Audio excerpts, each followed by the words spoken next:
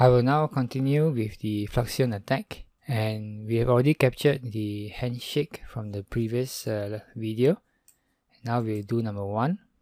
So press 1 and enter. And then I still have my two wireless uh, adapters. One is the external one, which is the USB wireless adapter, and one is the built-in one. I will use the built-in one, WLAN 0 for the access point, and I will use WLAN 1, the external one, for doing the, the authentication attack. So let's get started. So he asked to select the wireless interface for searching. So that should be number 2 for me. Enter. And then channel to monitor is number 1. All channels.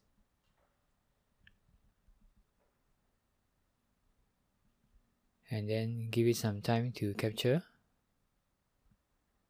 all the available access point. And once you see your target you can control C to close the window. And now you can select from the list the target. For me it's number 11 and then here select a wireless interface for target tracking I will choose again WLAN 1 always choose the WLAN one, the one that has got the ability to enter monitor mode.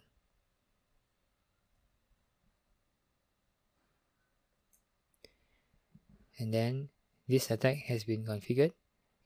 If you have done this before, then you choose number 2. Otherwise, uh, always choose number 2. Whether you have done it before or not, choose 2 reset the attack. Select an interface for jamming. Again, you should choose the wireless adapter that has got ability to enter monitor mode, which is number one for me. And then now, this one you should choose another one. You should choose number two, WLAN 0, the one which just uh, will be the access point. So WLAN 0 need not be the able to enter monitor mode. It doesn't have to be able to enter monitor mode. So 2, WLAN 0, enter.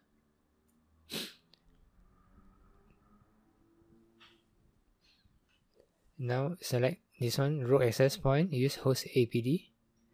Number 1, enter. And hash was found.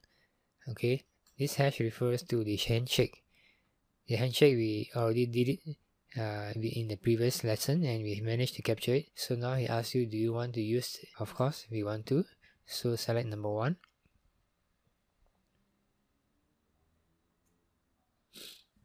Select a method for verification. Select number three.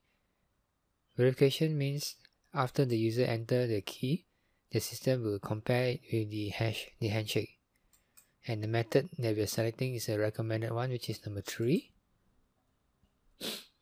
And then now he asks to create an SSL SSL is needed for in case the user tries to navigate to a page which uses HTTPS so we need to put number one for this. So let it generate. And here what method of connectivity? Choose number one disconnected. That means you you want the attacker system to disconnect the user from their own access point. So choose one. And here is a list of all the fake websites that will be served to the user to trick them to key in the Wi-Fi key. I'm going to choose number 7, which is English, generic.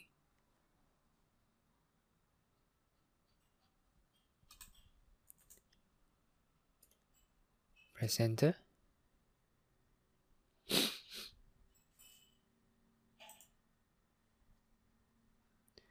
And the attack has started. And you can see from the screen here uh, in the center here you have the access point which is running. This is the fake access point with the same name as the our the real access point. Um, and then over on the left hand side is the DHCP server. DHCP server will give an IP address to anyone who connects to the fake access point. Uh, and the DNS server also started. DNS server will um, resolve any website which the user enter into our own web server. That means the user will be redirected uh, to our own web server.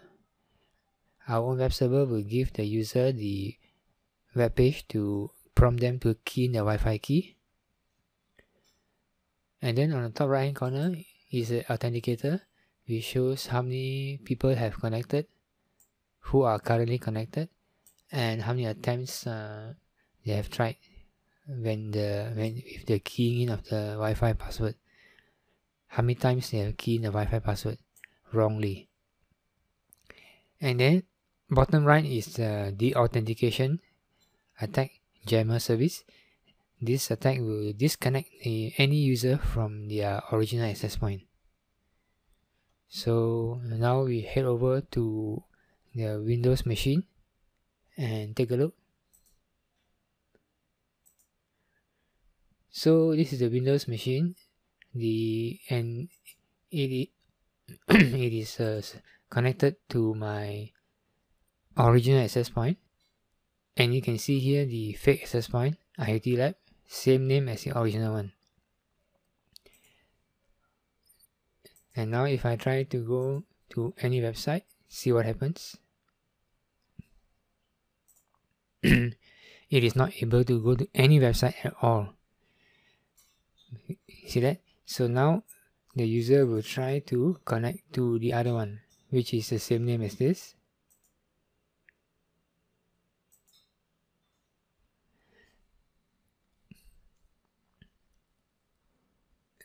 and now the user can't go anywhere so the user will try to key in a website. So let's let us say the user keys in this website.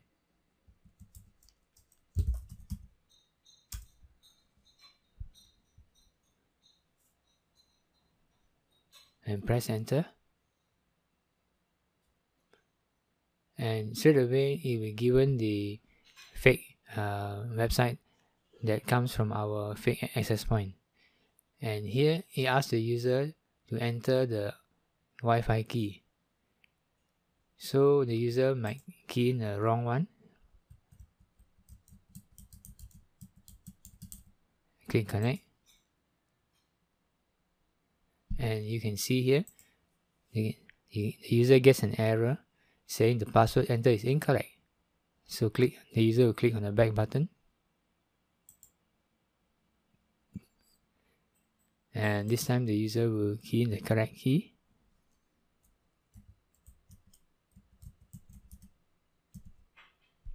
And click connect. And you see this time it says please wait while the password is verified. And that means the password entered was correct. So now the user will be able to just go back to the original access point and connect and he should be able to surf the internet as usual. So if you head back to the uh, uh, attacker machine the Kali machine you will see now all the windows have closed uh, except the one window here. And it informs you that the password was saved in this file. So the file is opt fluxion attacks. So let's open the file go to other locations computer look for OPT Fluxion attacks captive portal netlog and open this with right click and open it with text editor. And you should be able to see your password here. This is the password.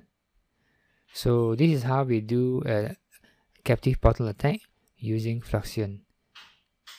Thank you for watching.